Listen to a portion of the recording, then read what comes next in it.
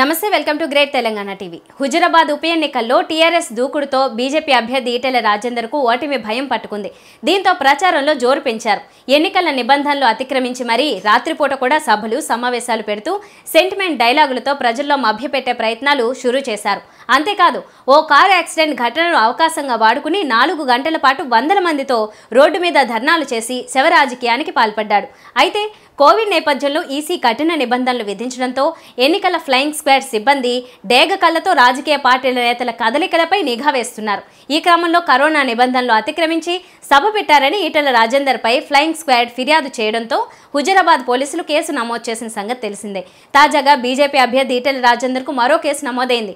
ఈ నెల ఐదున హుజరాబాద్ మండలం బొంతపల్లిలో రాత్రి ఏడున్నర గంటలకు వందకు పైగా స్ట్రీట్ కార్నర్ మీటింగ్ ఏర్పాటు చేశారని flying squad incharge Kishore Huzurabad పోలీసులకు ఫిర్యాదు చేశారు. ఈటెలతో పాటు బీజేపీ మైనార్టీ మోర్చా నాయకుడు అజహర్ కూడా ఈ సమావేశంలో ఎన్నికల నిబంధనలు ఉల్లంఘించారని తన ఫిర్యాదులో పేర్కొన్నారు.